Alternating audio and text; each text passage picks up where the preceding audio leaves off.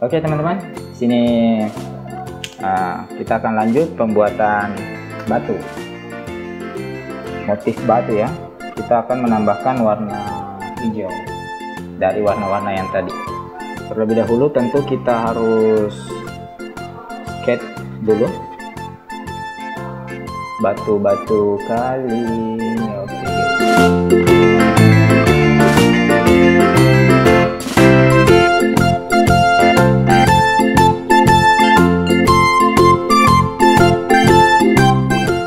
Setelah memberi gambar sketch kita akan mewarnai. Warna yang banyak digunakan di sini warna putih dan hitam. Untuk merah coklat dan hijau ini hanyalah pemanis saya. Kita akan coba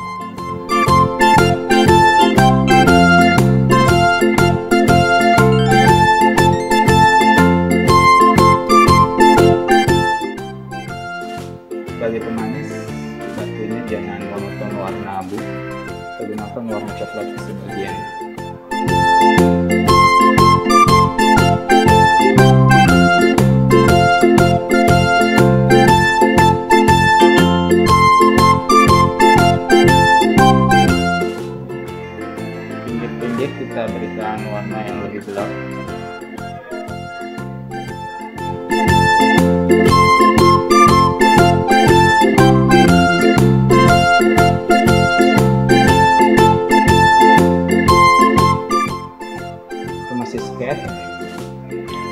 beri warna bagian pinggir. Warna gelap aja guys.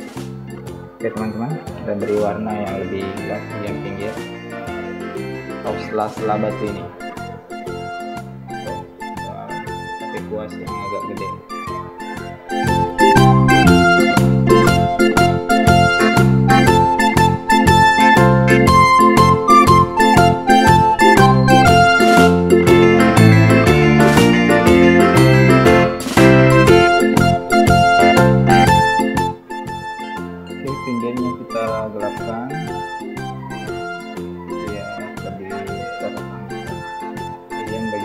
bagian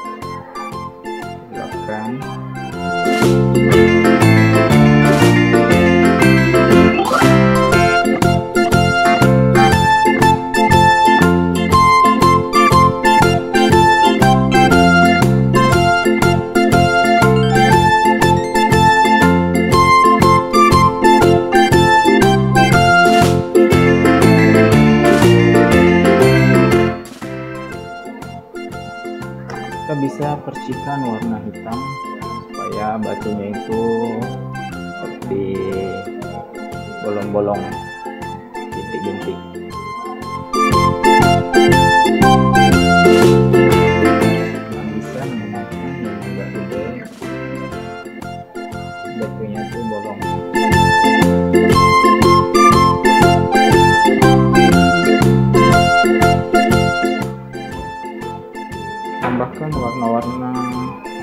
lebih ya, banyak warna oke setelah modelnya seperti ini kita bisa finishing dengan warna hitam. Kita gelapkan lagi bagian pinggir-pinggirnya ya. Supaya garisnya tidak terlalu tegas-tegas seperti ini. Jadi agak oh, kira-kira seperti ini memblur. Jadi jangan tegas-tegas gitu ya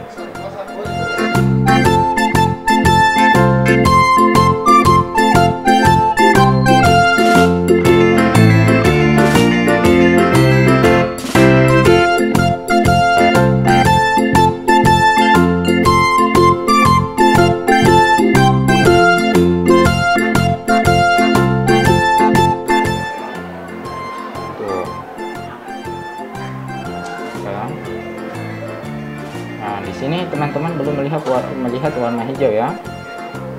Tadi saya menua eh, tuang warna hijau. Nah, untuk warna hijau itu sengaja beri warna terakhir ketika warna ini sudah kering sudah warna kering sudah kering kita akan memberi warna hijau seakan-akan berlumut jangan terlalu banyak sedikit-sedikit aja ya